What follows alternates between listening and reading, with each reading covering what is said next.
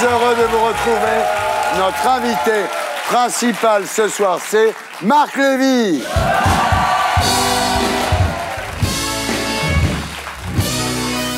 Alors, Marc Lévy, bonsoir. Vous êtes ici ce soir pour nous confirmer une information qui circule depuis un petit moment à Paris. Vous allez faire votre entrée à l'Académie française. un big up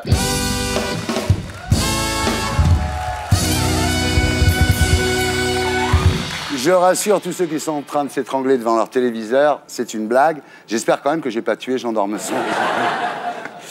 Alors Marc, vous connaissez l'émission, en P1 nous serons tous les deux. Nous parlerons de vous, de vos origines, de votre enfance, de votre adolescence, de vos premiers jobs, et puis de votre incroyable succès éditorial. Vous êtes l'écrivain français le plus lu dans le monde, avec 20 millions d'exemplaires. Combien acheté par votre mère 19 990. Alors, nous parlerons également de votre dernier livre, La Première Nuit. C'est la suite du premier jour. Vous allez continuer comme ça, le deuxième jour, la deuxième nuit, le troisième jour J'y pense. Alors, en P2, nous accueillerons deux nouveaux invités pour commenter avec nous l'actualité de la semaine. Aurélie Filippetti, députée PS de la Moselle. Aurélie nous parlera de la grande spécialité de son département, le chômage. Toujours en P2, nous recevrons Dominique Farrugia. Dominique Farrugia, à qui le président de la République, Nicolas Sarkozy, vient de remettre la Légion d'honneur. Alors évidemment, il y a beaucoup de gens qui ont été choqués par cette décoration. Pourquoi pas Stevie Boulet? En P3, après Guillon et le zapping, nous accueillerons notre invité du samedi 20h. Ce soir, Cécile Hernandez Cervellon. Pour ses livres témoignages sur la sclérose en plaques, Cécile nous révélera que l'avantage d'avoir la même maladie que Dominique Farrugia, c'est qu'on se marre un peu plus dans les soirées de gala. voilà, l'émission s'appelle Salut les terriens et le groupe Les Gréments de Fortune.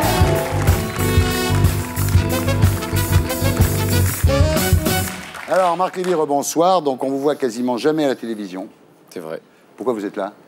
Parce que euh, la première émission de télévision, je l'ai faite avec vous. Rive droite, rive gauche. Et que euh, ce- cette semaine, c'est des... je fête les 10 ans. Et ben voilà. Donc voilà, je me suis dit, voilà. Voilà une bonne raison d'être là. Alors, vos deux livres parus en 2009 se sont écoulés à près de 2 millions d'exemplaires, donc ce qui fait 20 millions en 10 ans, traduits en 41 langues. Vous êtes le plus grand écrivain français devant Victor Hugo. 1m83, je, je crois qu'il était très- plus grand encore. Ouais. voilà comment vous faites. Vous dites, je raconte l'histoire à mon meilleur ami, et, et à un moment, je lui propose un café. Si après cela, il me demande la suite de l'histoire, je considère que c'est bon. Si je vois pendant que je raconte l'histoire à ce proche que j'arrive pas à capter son attention, c'est que l'outil est pas prêt. Ouais. La matrice est pas prête. Alors, Et voilà. la narration est simple, rapide, sans fioriture euh, stylistique, euh, accessible au plus grand nombre. C'est assumé, ça. C'est volontaire. Ouais, Faire simple demande beaucoup de travail. ouais. Et si vous vouliez faire plus stylé, vous pourriez le faire? Je n'y prendrai pas de plaisir. Ouais. La liberté de ce métier, c'est de regarder ce qu'on écrit et pas de se regarder écrire. Très bien. voilà. Alors, vous venez de parler de métier. Vous parlez pas d'art. Vous connaissez cette phrase merveilleuse de Nino Ventura qui a répondu large, je n'en suis pas encore là. c'est très bon, ça. Et je sais où est ma place. hein, Ouais. Et, et ce que je sais faire et ce que je ne saurais pas faire. Et quand je lis un roman de Christian Bobin, d'Antoine Audouard, de, de, de Cormac McCarthy, je, je- je sais que je ne suis pas Mozart, mais ça ne m'interdit pas pour autant de chanter sous la douche. Alors évidemment, devant un tel succès, euh, les critiques sont de cœur joie. Prose d'aéroport, vocabulaire de tour opérateur, romance guimauve débitée au maître. Enfin, alors pour vous, euh, dites-vous, c'est de la jalousie et surtout du snobisme. Ça n'est pas sans me rappeler euh, ce qu'il s'est passé dans la musique euh, au début du XXe siècle. Quand le jazz est arrivé, euh, il y avait des critiques musicaux qui disaient "Mais c'est pas de la musique, ça c'est une barbarie. Ouais. Dans la, dans la littérature, on veut à la fois, dans les journaux parisiens, dans le Nouvel Homme, qui d'ailleurs très étrangement sont des journaux de gauche, euh, Ouais. et, et qui détestent la littérature populaire. Donc c'est une contradiction qui m'a toujours amusé. Il n'y a pas plus élitiste que ces journaux. Et alors, il y, a- il y a un double langage qui est quand même étrange. C'est Alors, on, on se donne bonne figure. Il, faut que, il faudrait que les gens lisent de plus en plus. Ce serait merveilleux. La lecture est en danger. On lit pas assez. Et dès qu'il y a un livre qui est lu, on dégoupille les grenades et on essaye de désinguer l'auteur. Donc, En fait, c'est très difficile de vous critiquer, Marc, parce que vous n'avez pas de problème d'ego. Vous dites que l'on dise de moi que je suis un auteur de métro ne me dérange pas. ça me fait même extrêmement plaisir. Voilà. si vous dites à un boulanger qu'il fait des, des pains au chocolat que les gens mangent dans le métro, ça va pas le déranger. Ouais. Et il va vous dire, mais moi, vous savez, les gens les mangent où ils veulent, hein, mes petits pains au chocolat. Vous voyez plutôt comme un artisan, comme un artiste. Je pense que si un jour je disais de moi que je suis un artiste, mon meilleur ami me dirait il faut qu'on parle toi et moi parce que ça y est, ça va pas bien. Le, le gardien absolu de l'écriture, c'est l'humilité. Ouais. Et si on perd ça, alors on se regarde écrire. Mais est-ce que vous pensez, au fond, que comme euh, euh, des Dumas, des Eugène Sue, enfin des grands feuilletonistes du 19e sont devenus aujourd'hui des classiques, est-ce que vous pensez quand même quelque part qu'un jour, dans quelques euh, décennies, vos livres deviendront des classiques? Écoutez, j'ai- j'aime mieux être un auteur populaire de mon vivant Ouais. qu'un auteur célèbre de ma mort. Ouais. Vous vous foutez de votre postérité, en fait? Ah, totalement. Ouais. Ma grand-mère m'a dit un jour, c'est que comment les hommes peuvent avoir envie qu'on fasse des statues à leur effigie, à croire qu'ils n'ont jamais vu ce que les pigeons en font. Ah, c'est bon. Alors, quand on s'intéresse à votre vie, on découvre euh, qu'en plus de tout ça, l'écriture n'était pas vraiment votre vocation. hein. Vous avez fait plein d'autres trucs avant. On va regarder un petit peu votre vie. Votre famille est originaire d'Izmir, en, en Turquie.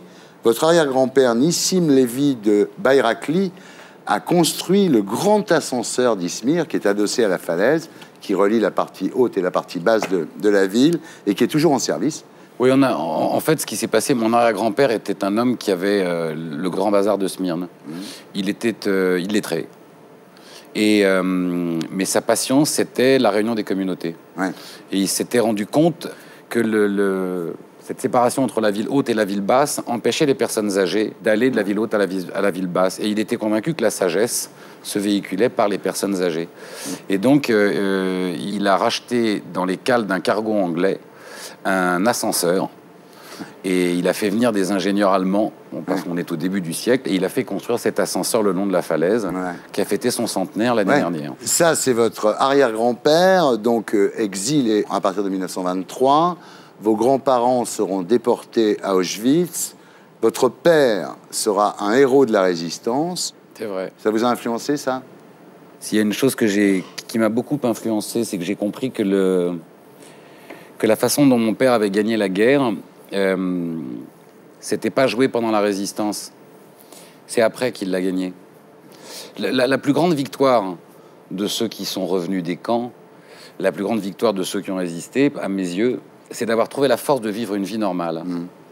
C'est d'avoir trouvé la force d'être capable d'aimer, d'élever des enfants. Ouais. Alors, quand vous êtes à l'école primaire dans le sud de la France, vous faites traiter assez couramment de sel juif, au moins deux fois par jour. Et là, vous êtes extraordinaire, c'est que vous y voyez plutôt de la bêtise que de l'antisémitisme. Mais c'était de la bêtise. J'aurais eu euh, une tache bleue euh, sur la joue, on m'aurait traité de sale schtroumpf. Ouais. Et bon, Alors, enfant, vous êtes horriblement timide. hein. toujours. Et alors, vous aviez un zozotement. Oui, et je louchais. Ah ouais, ouais, dis donc, vous êtes mal barré vous, au Ouais. départ. Quand j'étais petit, pour faire pleurer ma mère, je lui disais Maman, ils sont pas beaux mes yeux.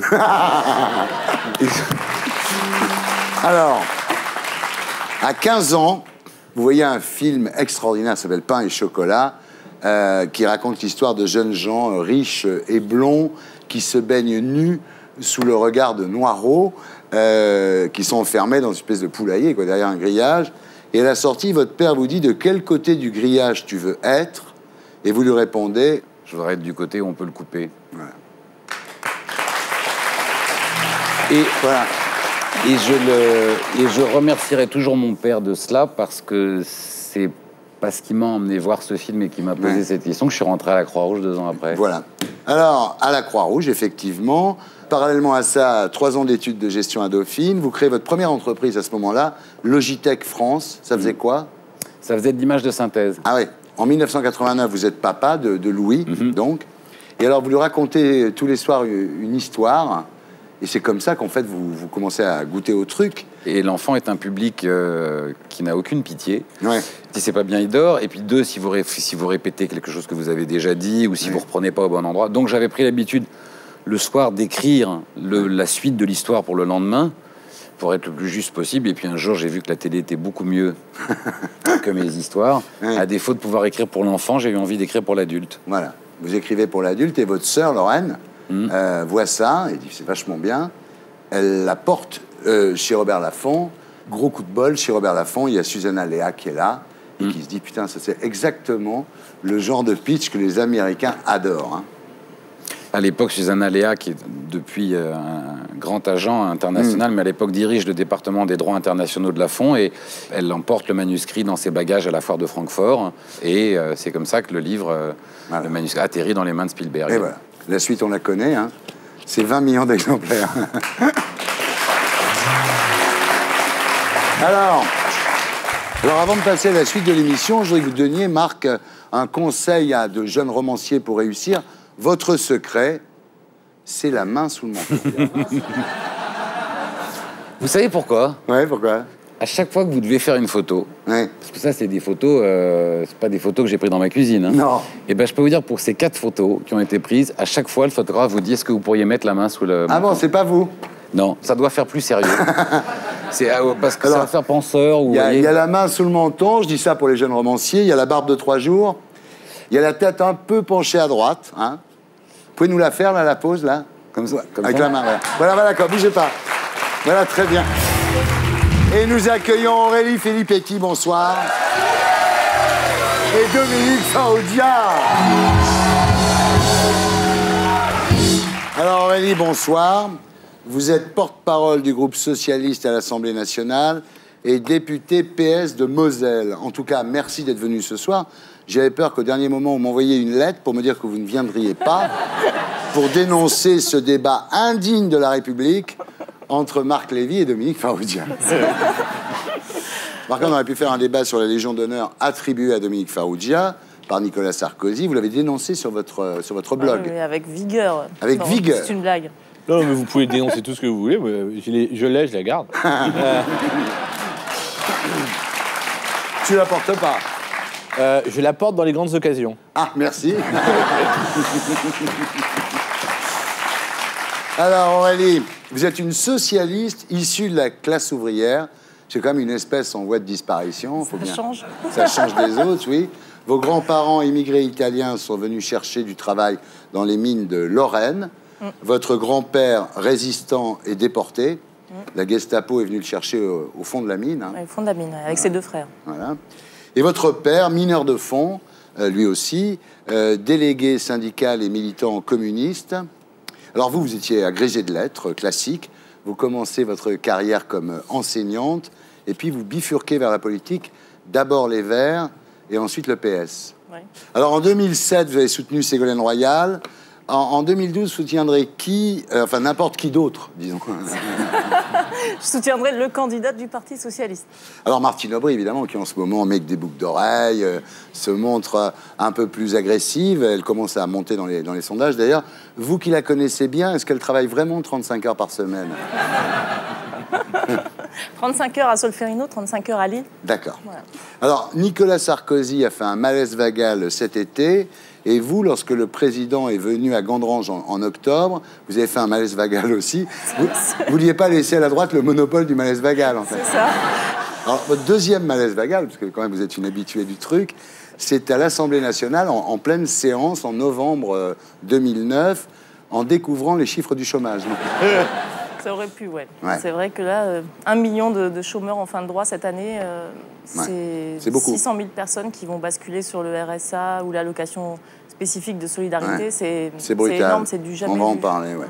Alors, votre prochain malaise vagal, est-ce que vous pensez que ça sera lundi soir en écoutant euh, Nicolas Sarkozy sur TF1 Parce que c'est vrai que pour une agrégée de lettres, ça ne doit pas être facile, toutes ces fautes de français, non? Mais moi, je- ce que je comprends pas, c'est qu'il a grandi quand même dans les beaux quartiers. Donc Mm. je, je me demande où il a appris à, à mal parler français. Mais on sait pas. Alors, Dominique rebonsoir. bonsoir. Vous êtes ici ce soir pour pousser un coup de gueule et vous élever contre la remise de la Légion d'honneur par Nicolas Sarkozy à Daniela Lombroso. ça, ça vous choque qu'on la donne à n'importe qui Euh, ah, elle n'a pas inventé la mouche qui pète. Ah ouais, ouais, ouais, ouais. J'ai rien apporté à la France, si ce n'est que j'ai participé au nul. J'ai créé euh, plusieurs sociétés où j'ai Comédie. créé des- comédie, cuisine TV, où j'ai créé de l'emploi aussi. Ouais. Euh, je continue à le faire puisque j'ai produit plus de 30 films. Et, et- et au-delà de ça, euh, avec l'UNICEF, euh, Ouais. je mène une action euh, euh, pour essayer de trouver un remède à la sclérose en plaques. Et ça, je le fais depuis 10-15 ans, euh, de manière euh, cachée, sans rien dire. Et voilà, euh, il a voulu me récompenser. J'ai trouvé ça très sympathique. Mais oui, Dominique, on est ravis. Attends. Alors, tout ça, donc, se passait à l'Élysée, c'était sympa. Il y avait Carla. Elle avait fait quoi à manger, Carla? Alors, il y avait plein de petits fours très bons et qu'elle avait fait elle-même, hein, bien, Bien sûr. sûr. dans la vidéo. On connaît Carla, qui est une épouse modèle. bien entendu. Alors, vous reviendrez en mai, Dominique, pour un film qui s'appelle L'amour, c'est mieux à deux, super titre. Film réalisé par vous avec Arnaud Lemort, donc avec au casting Clovis Cornillac, Manu Payet, Virginie Efira. Virginie Efira, c'est pour surfer sur le succès de Canal Presse que, que vous l'avez que vous l'avez prise. Je, je demande des conseils à Canal, Canal me les donne et je les exécute pratiquement. Non mais voilà, je suis très content d'avoir pu réaliser ce film et je réalise un autre là, j'espère là d'ici deux mois. Euh, c'est voilà, c'est un petit challenge contre euh, ce que j'ai, contre, contre la maladie. Ça m'amuse, avec des acteurs que j'aime bien et euh, il s'avère que je sais faire ça plutôt pas trop mal, donc au moins je fais moins de conneries. Bon, on vous attend au mois de mai. On passe maintenant aux commentaires de l'actualité de la semaine. Et c'est Yves Tréhard, directeur adjoint de la rédaction du quotidien Le Figaro, que nous retrouverons en plateau après le magnéto. «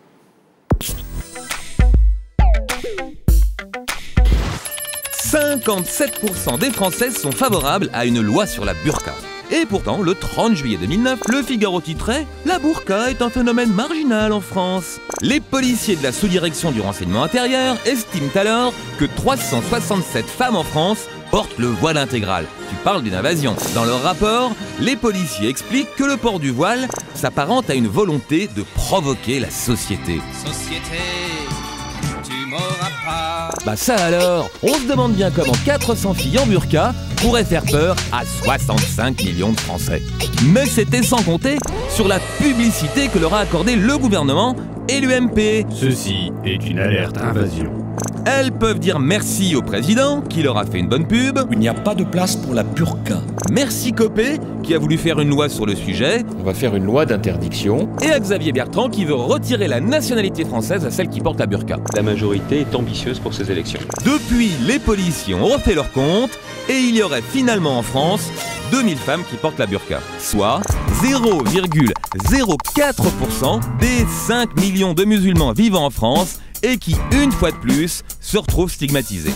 Alors, pourquoi la majorité accorde autant d'importance un sujet que le Figaro lui-même considérait il y a six mois comme un phénomène marginal Eh ben c'est simple, pendant qu'on parle de la burqa, La burqa. La burqa. La burqa. La burqa. La burqa. Ça n'a pas sa place. Non à la burqa. Au moins, on ne parle pas d'autre chose.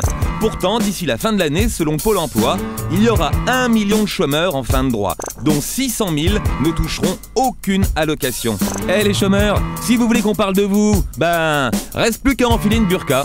Société, société, tu m'auras pas. Voilà, c'était les infos de Blaco, mise en image de Julien Grapp. Yves Tréhard, bonsoir. Vous êtes le directeur adjoint de la rédaction du Figaro, éditorialiste.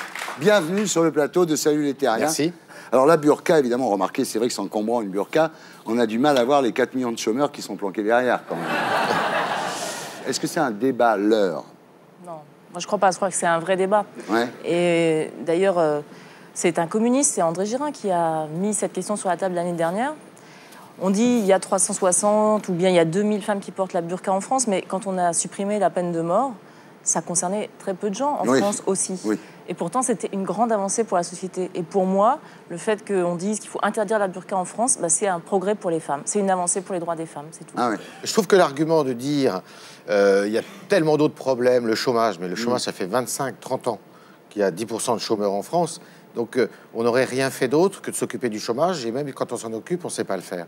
Donc, Je pense que c'est un vrai, euh, un vrai problème, celui de la burqa. Et je pense qu'il faut une loi. Et plus qu'une résolution, vous savez, cette espèce de nouvel instrument qu'on nous a sorti, qui sert de pétition de principe en disant la burqa, c'est pas bien, il faut qu'il y ait une loi, parce qu'il faut qu'il y ait, une, il faut qu'il y ait un objectif, il faut qu'il y ait une sanction. Et je trouve en plus que le débat, tel qu'il a été posé en France, est un débat sérieux. Il y a une commission parlementaire qui s'est réunie, des gens de droite, de gauche. On en a parlé et on en a plutôt bien parlé. Ah bon Je trouve. Ce qui me gêne dans le débat sur la burqa, c'est euh, la tournure que prend le débat. C'est-à-dire que pour moi, les choses sont beaucoup plus sensibles que ça. Il n'y a, pas que le débat sur la burqa. Le débat sur la burqa s'inscrit en ce moment dans une situation où la communauté musulmane est, systé- est systématiquement stigmatisée pour des tas de choses. Il y a euh, ministère de l'identité nationale, tout ça se mélange et moi je trouve au contraire que c'est très mal expliqué. Il y a des façons peut-être plus simples de dire les choses. Vous ne pouvez pas aujourd'hui vous promener dans beaucoup de pays musulmans en mini-jupe. C'est un code vestimentaire. Ça n'est pas pour autant, de la part des pays arabes, une stigmatisation de la société occidentale. C'est un code vestimentaire, on vous dit, bah, chez nous, la mini-jupe, ça nous gêne. On aurait pu, je trouve, aborder le débat sur la burqa avec plus de diplomatie, au regard d'une communauté musulmane qu'on a un peu trop tendance, à mon avis, en France, à stigmatiser. Et c'est ça qui me dérange. Je trouve que ça manque de délicatesse et d'intelligence vis-à-vis d'une communauté qui, qu'on le veuille ou non, fait partie de la France à part entière. La vraie connerie, pardon, c'est de dire euh, on va lui enlever la citoyenneté française. Enfin, c'est Ouais. ridicule et on lui remet. Enfin, et- enfin, c- ça, c'est vraiment ridicule. Est-ce qu'ils vont pouvoir durer jusqu'au régional avec ce débat sur la burqa? Le problème, c'est que la droite et l'UMP, une partie de l'UMP a essayé d'instrumentaliser le débat sur la burqa pour redonner vie à un débat sur l'identité nationale qui est devenu grand n'importe quoi. Il n'aura aucune, aucun débouché. Ils vont faire un rapport euh, euh, remis par euh, les préfectures. Ça ça n'a ni queue ni tête. Et quand on parle justement de la stigmatisation des, de la communauté musulmane, je pense que l'une des erreurs de la gauche, c'est de vouloir renvoyer toujours les enfants finalement des catégories populaires, les enfants d'immigrés, de les renvoyer, de les assigner à résidence religieuse, de les assigner à résidence islam, de les assigner à le fait qu'ils sont musulmans. Mais il y a plein de jeunes filles et de jeunes garçons d'ailleurs Qui ont envie qu'on les définisse tout autrement que comme musulmans ou musulmanes. Et en plus, on fait l'amalgame aujourd'hui entre la burqa et l'islam, ce qui est encore une nouvelle monstruosité. Donc parlons des questions sociales, parlons des discriminations sociales que subissent ces jeunes dans Des certains quartiers. plus 5 issus de la banlieue qui ne trouvent pas de boulot parce qu'ils s'appellent Mohamed ou Malik. Exactement. Voilà. Et eux, ils, ils- ils le vivent comme du racisme, Bah, comme, comme de la xénophobie, et c'est c'est insupportable. Et contre ça, il faut se battre. Et donc, c'est contre ça que la gauche doit se battre. Et c'est ceux-là d'ailleurs qui souvent se replient. Il y a une attitude de repli parce que justement, euh, ils n'arrivent pas à avoir de boulot. il se replient vers un islam radical, dur. Pour parler de 30 secondes encore de la burqa, je veux dire, à partir du moment où vous avez une fille qui n'est pas obligée de la porter par son père, par son frère ou par son mari, et qui décide de porter la burqa, euh, en quoi ça vous dérange? Je veux dire, c'est quand même, excusez-moi, c'est quand même de l'ethnocentrisme. On veut imposer au reste du monde notre façon de voir, notre universalisme. Qu'est-ce qui nous prouve qu'on a raison? D'abord, il y a une question d'indécence vis-à-vis de toutes les femmes en Afghanistan, au Pakistan, en Iran, en Algérie. Toutes ces femmes qui se battent aujourd'hui pour le droit des femmes dans tous ces pays et qui ont tellement de mal à être reconnues simplement comme citoyennes, il y a une forme de scandale absolu dans le fait qu'ici, en France, il y ait certaines filles qui puissent se permettre de revendiquer le port de la burqa. Mais attendez, mais si elles veulent le revendiquer, Ensuite, deuxième Non, mais attendez, chose, ça. Deuxième Mm. chose, c'est on n'a pas le droit, si vous, vous voulez vous promener tout nu dans la rue demain, vous n'avez pas le droit de le faire. Mm. Oui. Il y a des règles. Lorsqu'une femme se, pro- se promène voilée de la tête aux pieds, c'est pas seulement le problème de cette femme qui porte la burqa, c'est le problème de tous les gens, de tous les jeunes, euh, les jeunes filles, les jeunes garçons, de tous les hommes et les femmes qu'elle va croiser. Ce sont eux aussi qui sont insultés, qui sont agressés dans leur, dans- ça, dignité d'être C'est votre opinion. Moi, si mais- demain je me mets un drap de lit sur la tête et si je vais me balader dans la rue, qu'est-ce Je qu'on pense peut que me dire arrêté euh, arrêté, pour euh, démence. Et on saura que tu es retombé dans la drogue. et ça sera vraiment chiant pour tout le monde. T'imagines Ardisson à poil avec un drap mais donne-moi les scoops, je prends les photos, on partage l'argent. hein. Bon, d'abord, il faut dire une chose, c'est qu'il n'y avait pas de burqa en dehors de l'Asie centrale et notamment d'Afghanistan Ouais. euh, il y a encore euh, 20 ou 30 ans. Ouais. Et de plus en plus maintenant, y compris dans les pays musulmans euh, de, de l'Égypte, je vais dire, jusqu'au Maroc, Mmh. vous trouvez maintenant des Ouais. burqas, c'est-à-dire des femmes qui sont dans des prisons en toile. Ça, c'est la première chose. La deuxième chose, c'est que ce qui est terrible dans la burqa, c'est c'est la négation de l'autre. C'est-à-dire que vous niez les autres avec une burqa. Vous Et êtes si enfermé. les autres. Non, mais attendez, vous me dites Bah, vous que restez des- chez vous. Mais quoi, hein. je reste chez moi Si j'ai envie puis, de sortir euh, et de nier voilà. les autres. Ah, Non, mais moi, moi, je suis pour la liberté absolue. Et je pense que là, c'est une atteinte, je suis désolé, à la liberté des gens. On se balade comme on veut. Et moi, je suis pour la liberté absolue, mais quand c'est une liberté qui libère. Et là, je suis désolée, le port de la burqa, c'est une fausse liberté, parce qu'en fait, c'est une liberté qui Une opprime. femme qui a pas envie ça d'être vue, n'existe c'est la vue. C'est la liberté de s'aliéner soi-même. Ça Ouais. n'existe pas. C'est une C'est le retour de ta punkitude en fin de compte. Ouais, c'est ça, voilà. Là, ça, c'est. Là, t'es déjà exactement dans ça. le vrai, là. C'est Ouais. 68 plus Plus 77. 77. Mais c'est bien, moi je pense qu'il faut se remettre à la coke à partir de 80 ans.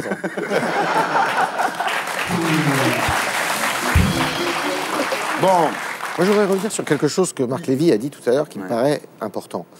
Certes, la burqa, c'est pas euh, un symbole religieux et le Coran ne recommande pas le port de la burqa.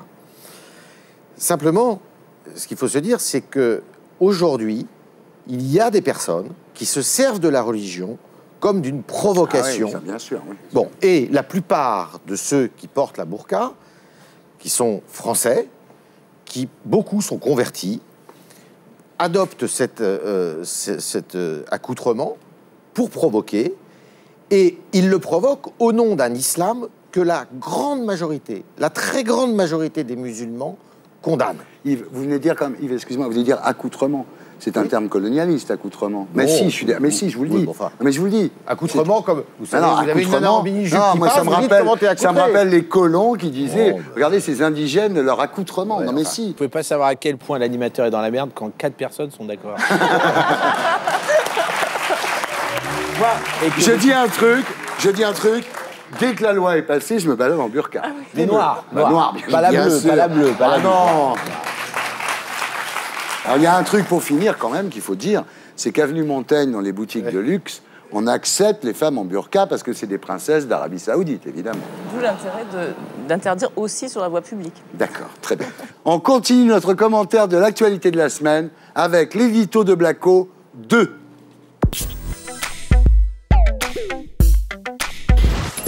Pauvre Henri Proglio, voilà un patron qui accepte de baisser son salaire de 22% et on continue de le clouer au pilori alors qu'il touche 6 fois moins d'argent que Johnny. Bon, 1 600 000 euros par an, ça nous fait quand même 7 000 euros par jour. N'empêche, c'est presque moitié moins que les 3 millions que touche Ben Arfa à l'OM. L'OM l'a embauché en pensant que c'était le nouveau Zidane, or depuis le début du championnat, combien il a marqué de buts? Zéro. Tandis que Proglio, lui, c'est le Zidane du CAC 40. La preuve, il est capable de jouer dans plusieurs équipes à la fois.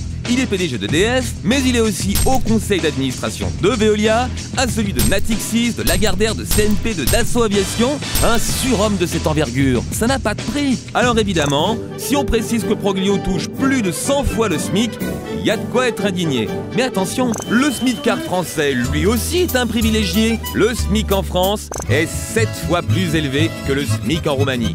Alors dit comme ça, il n'y a pas le choix. Si on veut que la France reste compétitive, il faut embaucher des patrons roumains. Bah oui, ils seront certainement 7 fois moins chers.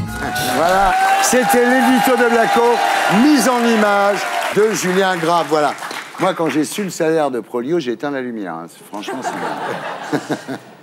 Alors là, bon, il a abandonné ce qui venait de chez Veolia, mais quand même, c'est parce qu'il était obligé, quoi. Là où il y a vraiment matière à polémiquer, et ce qui est un peu scandaleux, c'est la façon dont ça s'est- s'est passé. C'est pas du tout le salaire. Ouais. Moi, pour moi, il y a deux choses qui sont incroyables. C'est qu'un même homme puisse à la fois diriger une entreprise publique et une entreprise privée.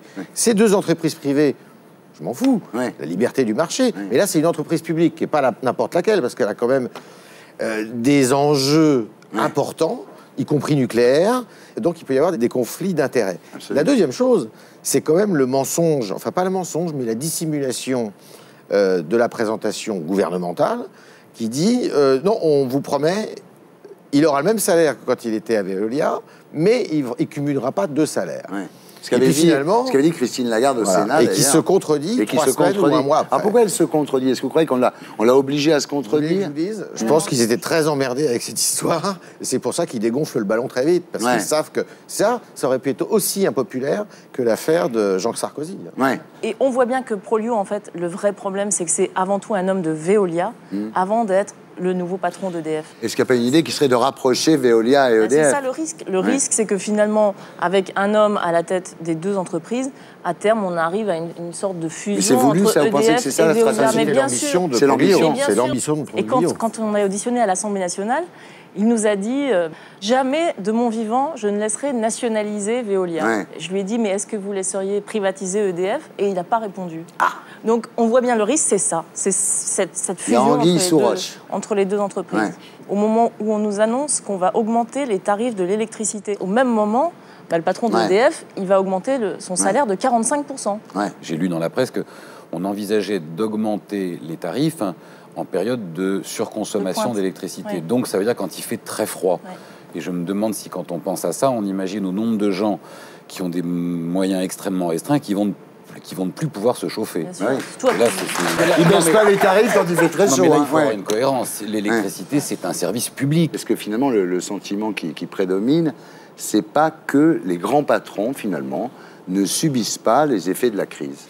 Quand on voit que Didier Lombard, à la tête de France Télécom, Mm. il va toucher encore cette année 1,6 million d'euros, on ne peut pas dire que ce qui s'est passé à France Télécom soit une grande réussite, ni sociale, ni économique. on s'est on- anglo-saxonisé, c'est-à-dire qu'on s'est mis à la hauteur des anglo-saxons en se disant euh, on va perdre nos patrons si on ne leur donne pas autant que les autres. On devrait faire une prime à l'emploi Ouais. pour les grands patrons. Oui, c'est vrai. Au lieu qu'ils soient rémunérés Oui, c'est vrai, sur ce les résultats boursiers, il faudrait créer Très une idée. forme de conflit d'intérêts entre leur obligation de servir leurs actionnaires et que là-dessus, ils soient beaucoup moins rémunérés, mais qu'un patron qui Crée des emplois, qui aurait- crée des serait bien payé. Moi, je serais fou de bonheur qu'un patron qui crée un million d'emplois gagne un million d'euros. Bravo. Ben voilà, c'est Oui, je une te très jure. bonne- La- On appellera ça la loi Marc Lévy. Au revoir. Merci. Merci d'être venu. Je suis très content de vous avoir. Et nous accueillons notre invité du samedi 20h ce soir, Cécile Hernandez Cervellon, pour ses livres témoignages consacrés à la sclérose en plaques. Alors Cécile, bonsoir. Vous êtes atteinte donc de sclérose en plaques. Vous êtes ici ce soir pour pousser un coup de gueule, car depuis que tout le monde sait que Dominique Farrugia lui-même est atteint de cette maladie, plus personne ne prend votre maladie au sérieux. Ça serait bien, ça. Ouais. Ouais, c'est vrai. C'est dommage. Est-ce que quand vous avez contracté cette maladie, vous avez contracté le même rire que Farrugia Non, hélas. Eh ouais. Alors, c'est arrivé avant la maladie. Ah, c'est arrivé très tôt. Ouais. J'ai eu la maladie à 30 ans et j'ai commencé à rire comme ça dès 6 ans. Ah oui, d'accord. Alors on en reparle à 20h. En attendant, j'accueille Stéphane Guillon.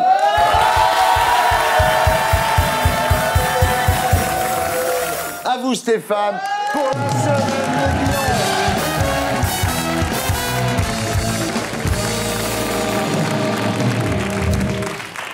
Alors c'est pas la semaine Thierry, c'est toute l'année 2010. Oh là là là là Les prévisions. De la prospective. De la prospective, absolument. Et on commence janvier 2010. On commence avec une nouvelle étonnante. Le docteur Delajoux, qui ne trouvait plus aucun patient depuis son opération sur Johnny, s'est reconverti dans la boucherie. bah oui. La boucherie Delajoux. Les clients sont satisfaits, il est beau gosse, super sympa. En revanche, la viande est très mal découpée. Cette dame qui avait commandé une côte de bœuf s'est retrouvée avec un steak haché. Ah ouais Février 2010, le 15 exactement, une terrible nouvelle qui a ébranlé tout le département de la Moselle. Rachida Dati s'est suicidée. Oh là là Elle nous avait prévenu en décembre dernier si vous me laissez à Strasbourg, ça finira par un drame, promesse tenue. Rachida s'est pendue avec sa tenue préférée, un ensemble Dior qu'elle avait porté à la Maison Blanche. J'ai voulu finir en beauté, écrit-elle. Je laisse Zora au bon soin de Bernard Laporte. À Paris, toutes les boutiques de luxe resteront fermées en signe de deuil.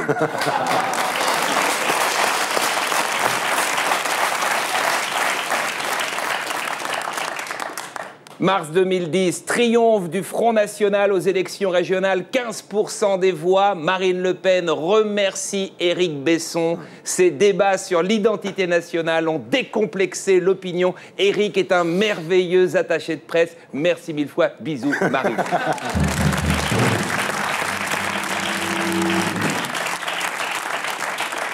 Avril 2010, DSK volontaire pour la castration chimique.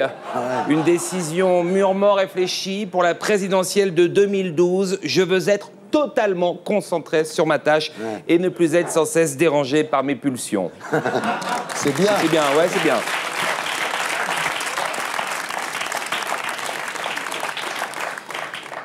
Juin 2010, le 22 exactement, la France éliminée du mondial. On rentre à la maison. Dès le premier tour, on rentre à la maison après avoir perdu ses trois premiers matchs. Pour des raisons de sécurité, Thierry, Raymond Domenech préfère ne pas rentrer en France. Le sélectionneur s'installe définitivement en Afrique du Sud. Juillet, Silvio Berlusconi à nouveau défiguré. Cette fois-ci, c'est une prostituée milanaise qui lui a balancé une lampe de chevet. Le docteur Delajoux propose de quitter sa boucherie pour une opération de la dernière chance. Refus catégorique des Italiens. On préfère un corps qui ressemble à une vieille mozzarella écrasée.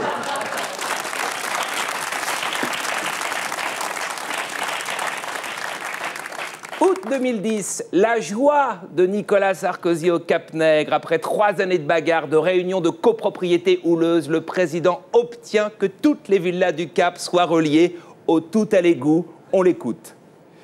Écoutez, c'est une très belle victoire. Toutes ces odeurs qui refoulaient dans un endroit paradisiaque, c'était insupportable.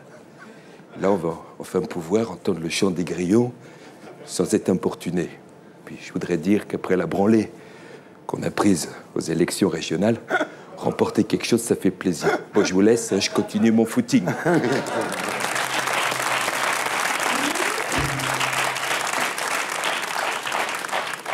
Septembre 2010, Jean Sarkozy triple sa première année de droit.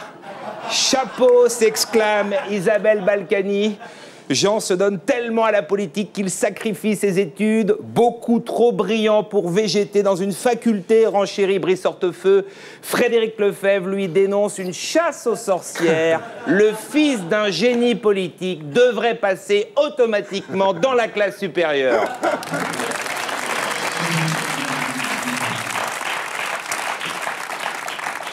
Octobre, grande victoire pour les Afghans, la CIMAD et toutes les associations des droits de l'homme. Éric Besson, né au Maroc, réussit à s'expulser lui-même. Bravo. Bravo.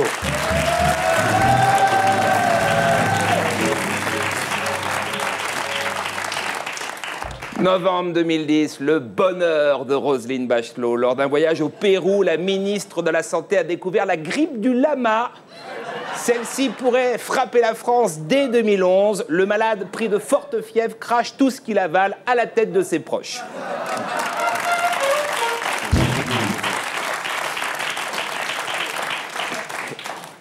Décembre 2010, drame. En plein téléthon, l'homme d'affaires Pierre Berger, qui avait été invité pour faire son mea culpa, s'est brutalement précipité sur un groupe de myopathes pour crever les roues de leur fauteuil à l'aide d'un tournevis. Gérard Rolls, pensant qu'il s'agissait d'un exercice pour récolter des dons, a mis plus de 5 minutes à réagir. Pierre Berger s'engage à rembourser plus de 43 chambres à air. Voilà C'était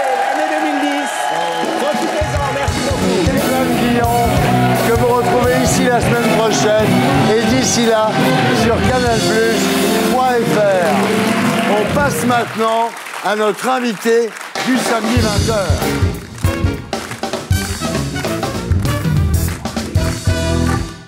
Cécile Rebonsoir, dans votre premier livre, La guerre des nerfs, publié au Rocher en 2008, vous racontez votre maladie.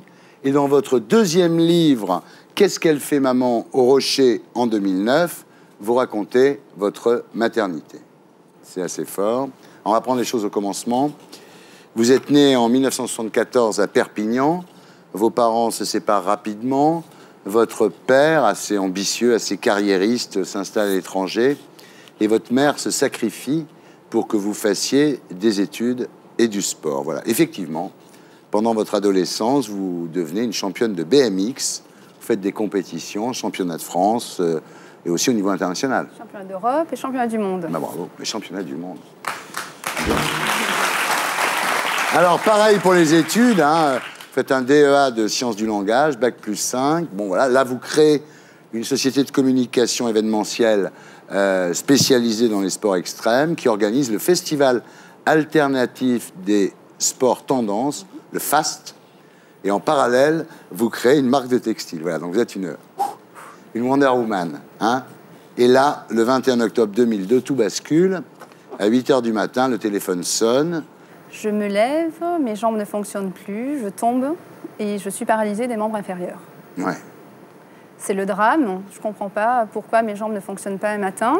Donc vous essayez une nouvelle fois, nouvel échec. euh, vous paniquez, vous criez, vous pleurez, euh, vous ne comprenez pas ce qui se passe. Vous écrivez Mon poids plume, 47 kilos, devient un poids mort. Enfin, je suis allongée sur le sol, à, ne plus- à essayer de m'accrocher à ma couette, à- au bord de mon lit pour me soulever et je n'arrive pas à, à me relever. Alors, dans l'ambulance, euh, vous dites Je déteste mon corps amorphe, il me trahit. Vous allez à l'hôpital, vous dites Je suis un légume vide et immobile, catapulté dans un monde blanc, stérile et chloroformé. Ça, l'arrivée à l'hôpital est terrible hein, dans votre bouquin. Je ne sais pas ce qui se passe. Je, ne, je suis dans, une, dans un box où il y a un- une scène. Une scène. Il y a un mec apocalyptique. qui se branle sur Ben Laden, ouais. C'est ça. Entre oui, c'est ça. Ouais, c'est vrai.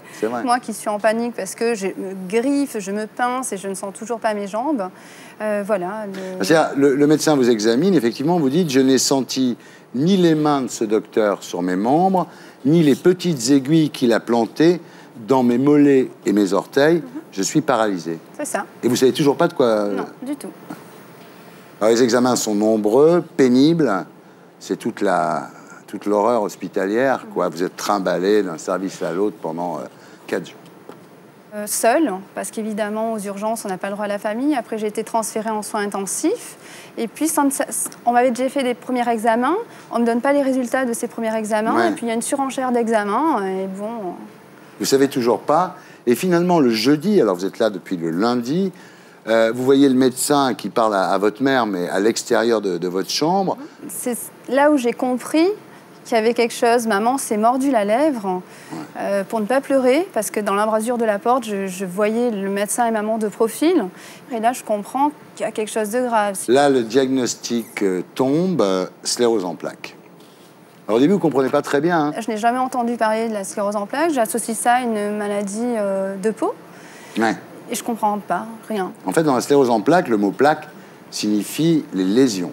Donc, c'est une atteinte du système nerveux central, hein, le cerveau plus la moelle épinière, et c'est l'inflammation d'une substance euh, grasse qui protège les nerfs, en fait. Ça s'appelle la myéline. C'est comme une gaine. Ouais. Il faut prendre, prendre un fil électrique. Ouais. C'est euh, la, la moelle épinière et autour il y a une gaine. Ouais. Et il y a des trous dans la gaine. Ouais. Donc les trous se font, les, trous, les fils se touchent et ça, voilà, ça t'empêche de, ça le voir. C'est court-circuit. Ça t'empêche Ouais. de voir, de marcher, de te servir de tes mains. Alors, c'est une maladie évolutive, hein, Mm. Dégénérative, oui. voilà. Donc, ça ne s'arrête plus. Non. Alors vous dites euh, effectivement, euh, je suis handicapé, moi qui étais l'indépendance personnifiée, vous dites putain c'est impossible, quoi. je vais pas me retrouver sur un fauteuil roulant, c'est-à-dire que ça, ça- ça vous chope en plein vol, quoi. Moi, je dis, je vis avec un point d'interrogation. Je ne sais pas pourquoi je suis malade. Je ne sais pas comment mon état évalue- va évoluer. Quand?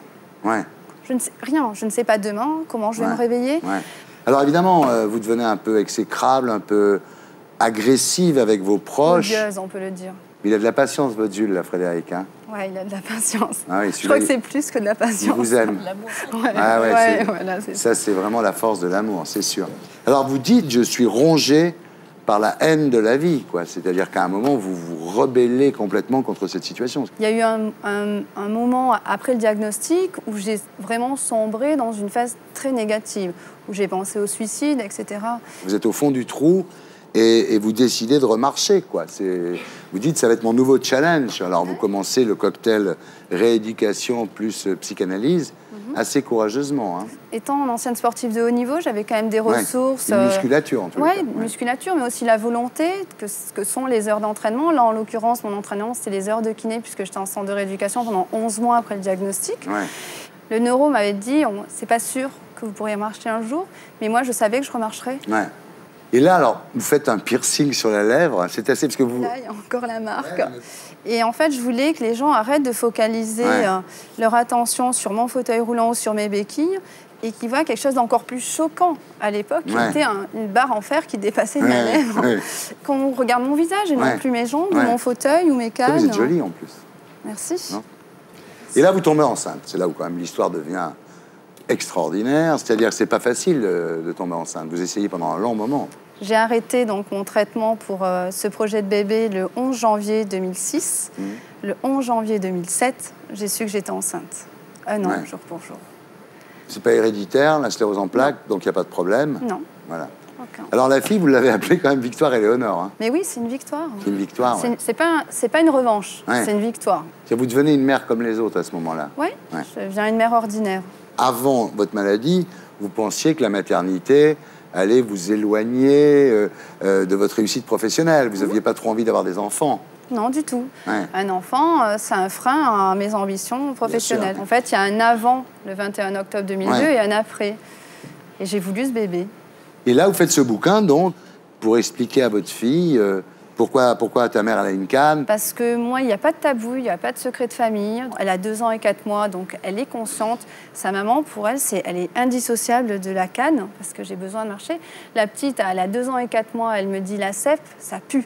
Ouais. Elle me dit comme ça, ouais, c'est- elle me dit la cèpe, c'est pas magnifique, maman. Ouais, dit ouais. non, c'est pas magnifique, mais c'est comme ça. On ne peut pas refaire l'histoire, il faut vivre avec. Tu vas vivre avec, ton papa va vivre avec, donc euh, c'est comme ça. Voilà. Courageuse, c'est bien.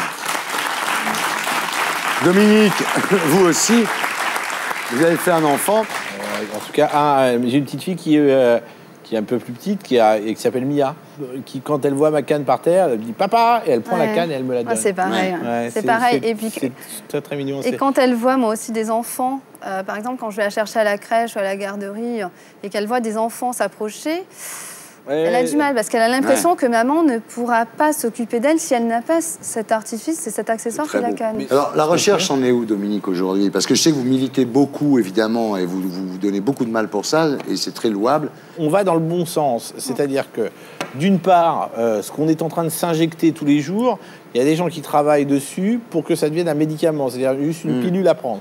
Déjà, c'est un changement énorme. C'est euh, de se piquer euh, tous les matins, moi je le fais, au bout d'un moment, t'en as marre. Quoi. Alors, Ouais. euh, travailler aussi sur le, le moyen de ne pas avoir à se déplacer vers le médecin. Et ça, par exemple, en, Israël, au Technion en ce moment, euh, on travaille sur euh, un truc formidable, c'est comment tu peux être chez toi avec une webcam, parler avec un neurologue qui, est, qui est lui à l'autre bout du à l'autre bout du monde et avoir une vraie consultation comme Ouais. dans comme dans un cabinet. Il Ouais. faut penser d'abord aux malades. Il y a parmi les malades 80% en France, 80% des malades sont au chômage. C'est une maladie qui te désocialise. C'est-à-dire que comme tu as du mal à marcher, tu as du mal à descendre de chez toi, et ben petit à plus- petit, à petit, tu, tu n'es plus rien. Et c'est donner la chance aux malades de rester dans la vie et pas hors la vie. Mais Dominique, comment vous faites pour, pour euh, concilier euh, cette maladie, donc, avec une vie aussi active? Parce que, quand même, vous n'êtes pas arrêté, là. J'ai des esclaves. non, non, Et je- un fouet. et un fouet que je ne paye pas, bien sûr. Je suis un salaud du patron. hein, Ouais. Comme on l'a dit tout à l'heure. C'est le travail qui me donne la force Ouais. de faire ce que je fais. Alors, c'est vrai que là, en ce moment, j'ai une tendinite de la hanche qui me fait un mal de chien. Donc, je manque de tomber. Je marche comme un abruti. Ça m'énerve profondément. Je m'arrête pas parce que c'est mon moteur. La sclérose en plaques est une maladie dont on ne parle pas assez, qui touche, donc on le disait, 80 000 personnes en France. Toutes les 4 heures, on en trouve une. Voilà, hein. un cas toutes Ouais, les 4 et- heures. mais en surtout France. des, des, des- Enfin, pardon, je mets l'accent là-dessus, des jeunes. Ouais, c'est Des gens jeunes très adultes. jeunes, Ouais. des jeunes adultes. Ouais, la première cause de handicap chez les jeunes après les accidents de la route. Ouais, c'est beaucoup. hein. Voilà. C'est c'est énorme, c'est énorme. Quelqu'un qui termine ses études, qui euh, fait la fête et qui le lendemain, comme ça, n'arrive plus à marcher. C'est euh, voilà, c'est c'est absolument terrible. Et, et aussi, il y a un truc dingue, c'est que on a peur de déclarer sa maladie au travail, de peur de se faire virer. C'est-à-dire qu'on va cacher ça pendant des mois, voire des années, souffrir le martyr en silence, de peur de se faire virer, de ne pas le dire aux autres. C'est terrible, parce que si tu es malade, bah, tu es viré. Il faut que le regard change sur le handicap. C'est un, un de mes combats aussi, parce que, euh, parce que les gens, quand ils me croisent, ils se disent pas que je suis handicapée, ils se disent que je peux avoir, euh, que je peux avoir eu une entorse ou quoi que ce soit. Mais il faut faire changer le regard sur le Ouais. handicap. Mais vous aidez beaucoup quand même. Ah, j'espère. Merci. Mais- mais tu- Non, mais c'est vrai. Merci d'avoir été avec nous. Voilà, c'était Salut les terriens avec Marc Lévy pour la première nuit chez Robert Laffont. Merci. Aurélie Filippetti, députée PS de Moselle. Dominique Farrugia, que nous retrouverons pour l'amour. C'est mieux à deux quand même. Ah, c'est gentil. Yves Tréhard du Figaro et Cécile Hernandez Cervellon. Qu'est-ce qu'elle fait, maman, Rocher Je voulais remercier tous ceux qui ont manifesté leur soutien à nos deux SDF de la semaine dernière, Justine et Nicolas, qui sont logés avenue Hoche. Ils ont une chambre avenue Hoche chez un ami qui s'appelle Daniel D et qui a la délicatesse de ne pas vouloir qu'on cite son nom. Voilà. Je vous laisse avec mes amis d'Action Discrète et de Groland. Merci à toute l'équipe qui m'a aidé à préparer cette émission. Rendez-vous samedi prochain. Salut les terres